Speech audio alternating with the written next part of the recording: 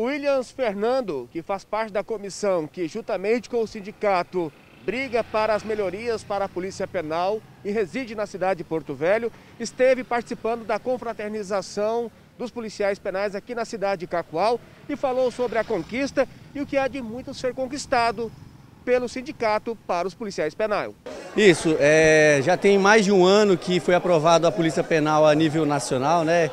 É uma PEC a nível nacional. É, fizemos parte do grupo de trabalho que elaborou a lei da Polícia Penal aqui no estado de Rondônia. Graças a ela, a gente teve não só o reconhecimento na PEC, mas um reconhecimento é, tanto de direito como de fato, né? E com isso a gente espera que daqui para frente a categoria possa ser mais valorizada, mais vista, né? É, tanto pela sociedade quanto pelo próprio governo também.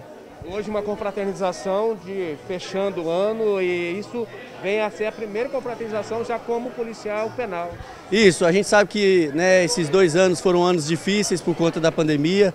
O ano passado a gente não pôde né, fazer nenhum tipo de aglomeração, mas esse ano já é, não está resolvida a situação da pandemia, mas como a gente já pode ter um grupo de aglomeração, é, é impossível uma atividade tão estressante como a nossa, a gente não parar uma vez por ano para se confraternizar, tanto como família, quanto como família da Polícia Penal também.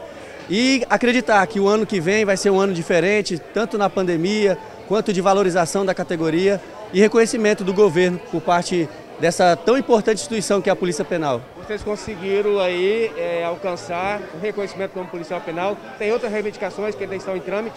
Tem sim, a gente ainda pena muito na questão salarial, infelizmente a Polícia Penal é, é uma das, um dos piores salários do Brasil ainda.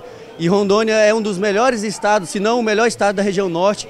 Não deveria a Polícia Penal estar nessas condições, mas é, o governo tem dado abertura para que a gente tenha trabalhado um plano de carreira. A gente acredita que ano que vem fomos a única categoria grande que ficou de fora, mas até março, no máximo, é, o governo vai estar nos atendendo e e está tá aprovando o tão sonhado plano da categoria que agora é a Polícia Penal.